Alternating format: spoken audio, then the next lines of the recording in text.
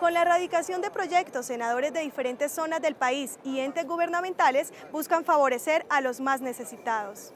En busca de fortalecer y dar resultados frente a las obligaciones que tiene el Estado colombiano con la protección de la niñez en el país, la ministra de Justicia, Gloria María Borrero, radicó a nombre del Gobierno Nacional el primer proyecto de acto legislativo que busca reformar el sistema de verdad, justicia y reparación pactado en La Habana, Cuba, entre el Gobierno y las FARC.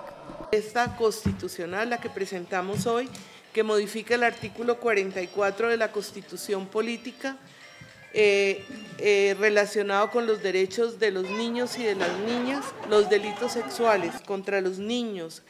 niñas y adolescentes estarán sometidos únicamente a las sanciones establecidas en el régimen penal ordinario y serán investigados y juzgados conforme a las normas definidas en el Código de Procedimiento Penal. El acto vivido el pasado 9 de abril en el Congreso de la República reunió a víctimas y victimarios del conflicto armado en Colombia. En torno al Día Nacional de la Memoria y Solidaridad con las víctimas de nuestro país, la senadora Paola Holguín, en un trabajo mancomunado con el representante Juan Espinal, trabaja por una defensa segura para las víctimas, así como ocurre en países como Italia, Francia, Alemania y España, donde se impiden los homenajes a sujetos señalados de crímenes de lesa humanidad y de guerra la dignidad de las víctimas, prohibiendo manifestaciones o conmemoraciones de, quienes hayan sido responsables de narcotráfico, terrorismo, violaciones a derechos humanos o a derecho internacional humanitario, e igual para organizaciones criminales que estén involucradas en estos delitos,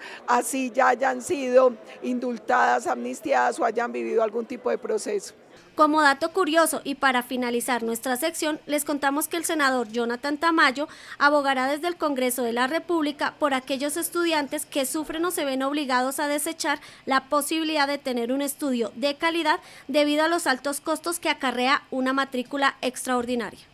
Es un proyecto donde buscamos darles acompañamiento a los padres de familia, a esos estudiantes, a muchos ciudadanos que se quedan sin poder estudiar gracias a esa, sobretasa, a ese interés tan grande de las matrículas extraordinarias. A veces un padre de familia eh, no le alcanza para pagar la matrícula ordinaria, pues mucho menos les va a alcanzar para pagar una extraordinaria. Así llegamos al final de nuestra sección Proyectos Radicados. Continúen viendo Casa de Leyes con más información legislativa.